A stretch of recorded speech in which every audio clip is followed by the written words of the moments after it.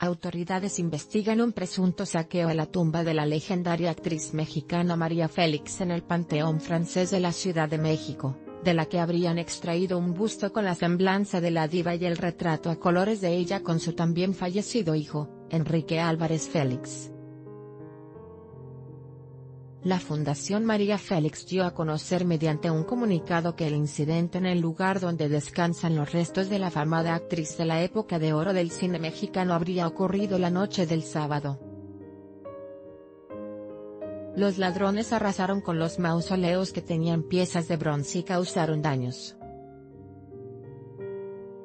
Un busto con la semblanza de la diva y el retrato a colores de ella con su hijo Enrique Álvarez Félix, así como candelabros y floreros, figuran entre los objetos que se extrajeron. De acuerdo con la fundación, el busto robado es una réplica, pues el original se encuentra desde 2014 en la propia fundación, con el fin de preservarlo.